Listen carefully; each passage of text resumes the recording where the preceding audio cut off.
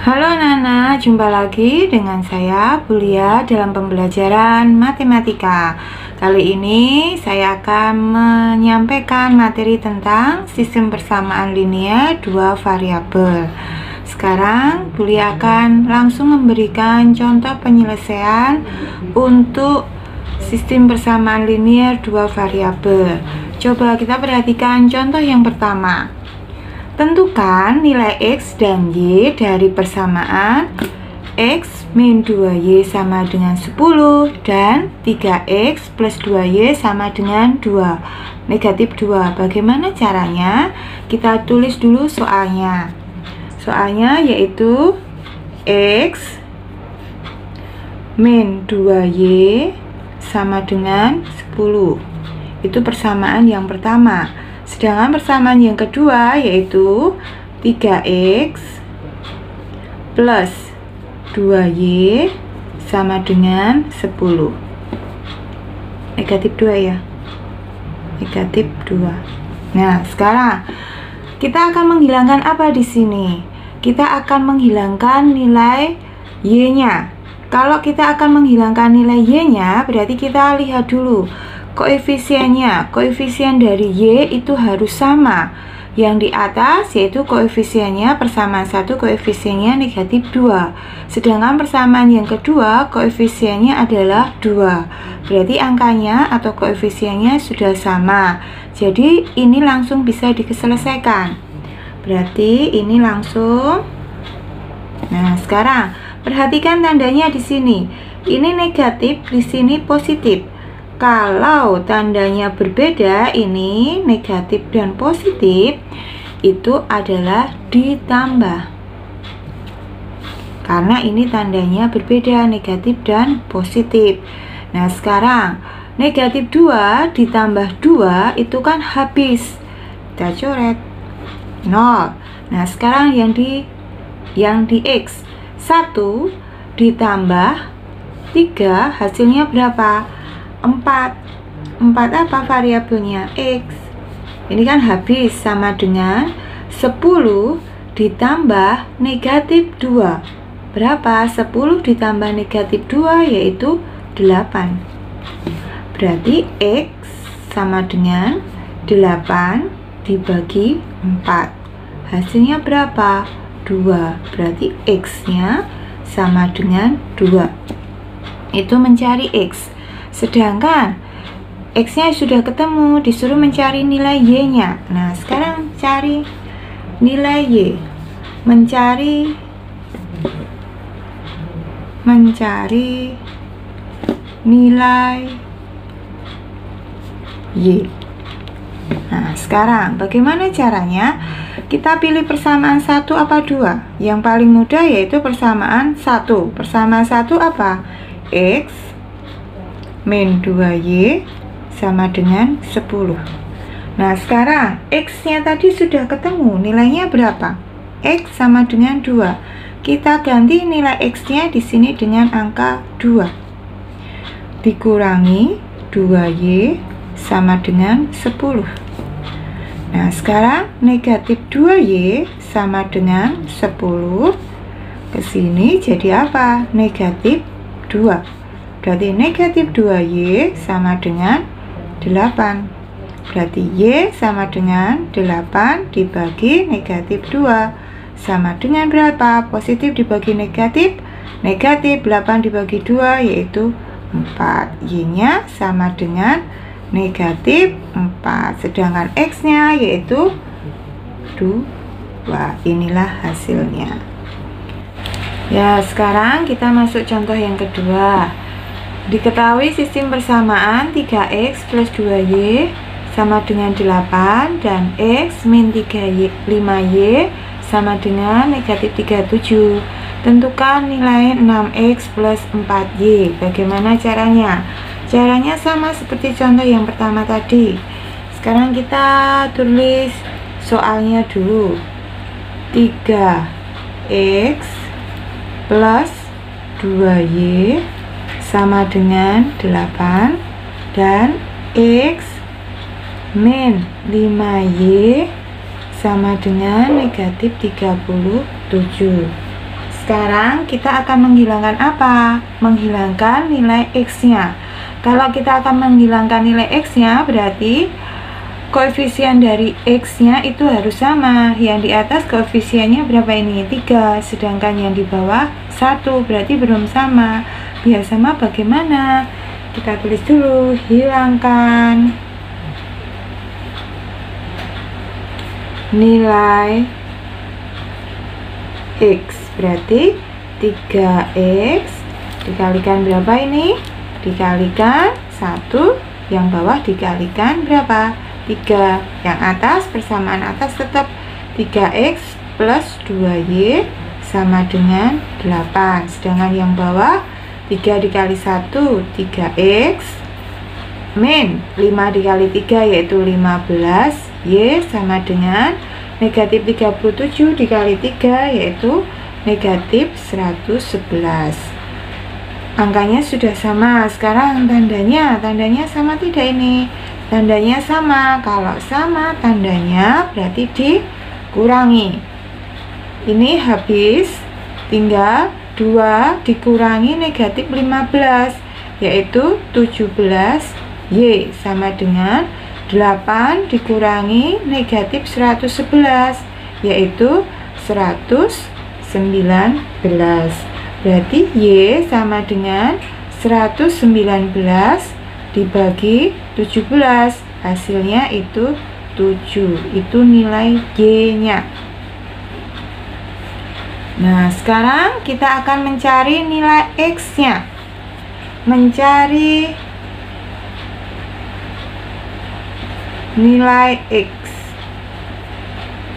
kita pilih salah satu persamaan, persamaan satu atau yang persamaan dua. Yang lebih mudah yaitu persamaan yang kedua, yaitu apa persamaan duanya?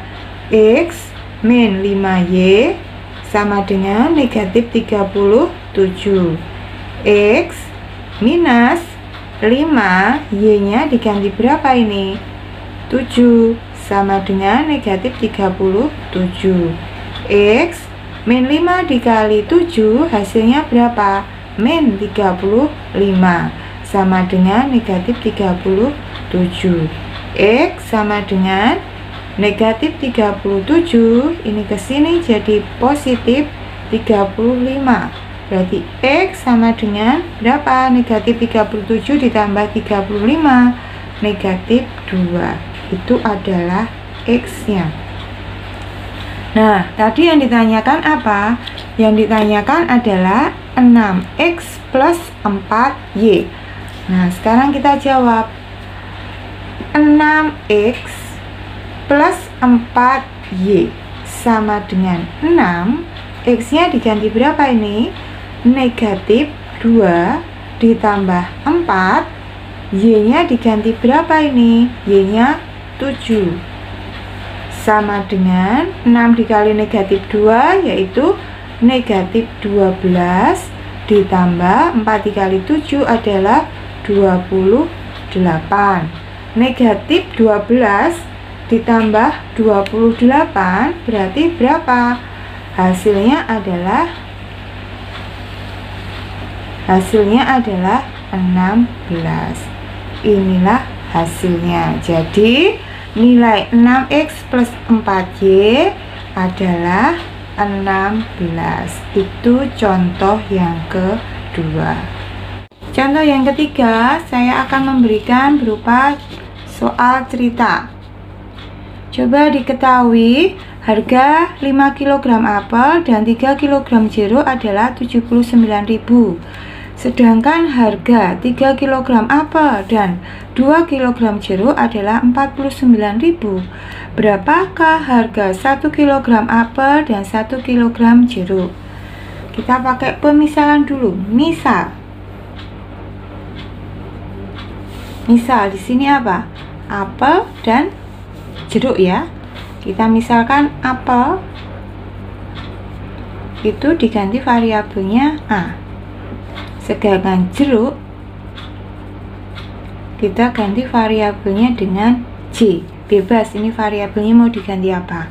Kita baca sekali lagi. 5 kg apa 5 apel dan plus 3 jeruk harganya berapa? 79.000 terus persamaan kedua 3 kg apel 3 kg apel ditambah 2 kg jeruk harganya berapa? 49.000 Nah, bentuknya sudah seperti yang tadi toh. Tinggal kita mengerjakan seperti saat tadi. Kita akan menghilangkan apa di sini? Kita yang pertama akan menghilangkan J-nya dulu. Menghilangkan J.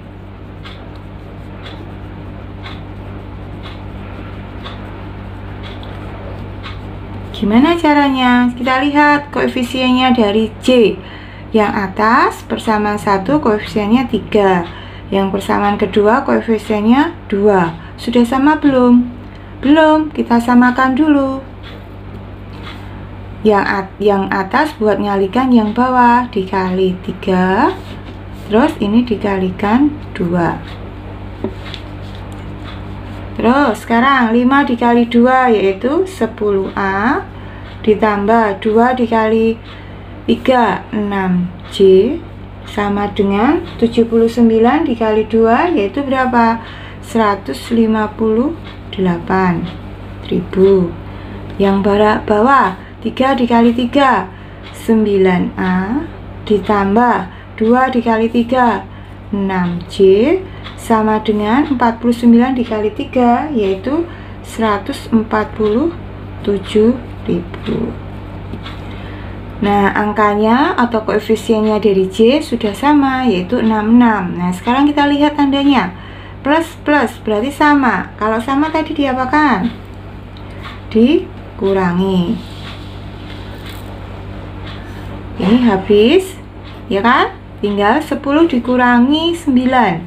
1A sama dengan 158 dikurangi 147, yaitu ini satu di sini satu tinggal 11.000 berarti A sama dengan 11.000 dibagi satu hasilnya 11.000 itu A nya.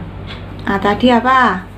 A tadi yaitu apa di sini tadi? A itu apel kita sudah ketemu. Harga apelnya satu kilo. Sekarang kita akan mencari nilai C. Mencari nilai J. Kita pilih persamaan berapa?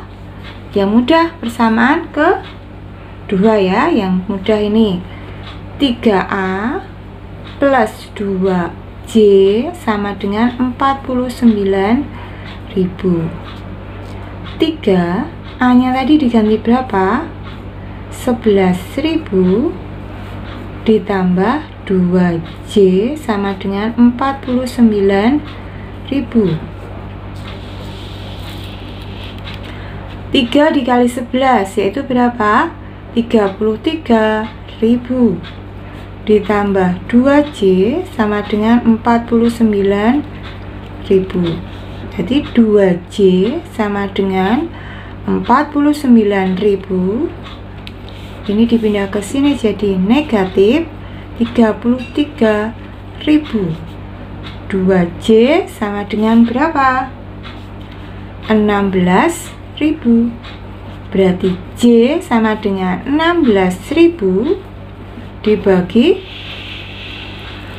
2 16 dibagi 2 berapa? 8.000 J J-nya 8000. Apa itu tadi J? J tadi adalah apa di sini tadi? Jeruk. Berarti harga 1 kg jeruknya 8000. Harga 1 kg apelnya berapa? 11.000. Pertanyaannya tadi apa? Berapa harga 1 kg apel dan 1 kg jeruk? Berarti 1 kg apel 1 kg apel 1A ditambah 1J sama dengan berapa? 1 A-nya tadi berapa? A-nya adalah 11 dikali 11.000 ditambah 1 J-nya berapa? J-nya adalah 8000 berarti hasilnya 1 dikali 11 11.000 ditambah 1 dikali 8 8000 jadi totalnya adalah 19.000 jadi harga 1 kg apel dan 1 kg jeruk harganya 19.000 ya ini Caranya bila menyelesaikannya dalam bentuk soal cerita. Oke, sekian dulu penjelasan dari Bulia tentang sistem persamaan linear dua variabel. Terima kasih, salam sehat selalu.